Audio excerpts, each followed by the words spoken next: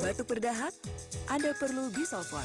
Diformulasikan khusus untuk mengencerkan dahak yang membandel, sehingga dahak mudah dikeluarkan. Bisulfon, hasil riset Boringer Ingelheim, Jerman.